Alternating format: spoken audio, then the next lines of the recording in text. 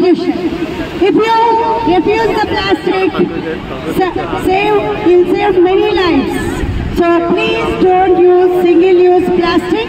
So avoid plastic, refuse to use the plastic and save all the lives of the plant animals and water.